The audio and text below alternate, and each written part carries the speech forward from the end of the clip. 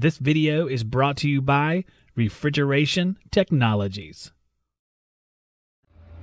Guys, I'm working on a Rheem unit here, and I have my Southwire clamps here on these low voltage wires, which are going to this motor. I actually replaced this a couple years ago, so hopefully it isn't bad again.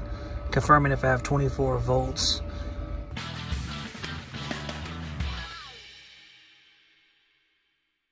on these two wires which go to those two wires which go out to the motor. And if I do have 24 volts, I'll double check.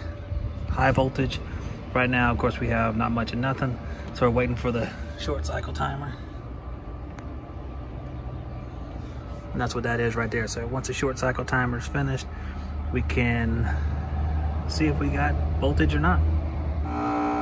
We do have 28 volts, so we are getting control voltage right there. So let's check the high voltage and see what it says. And if we have high voltage as well, it looks like we have a bad motor.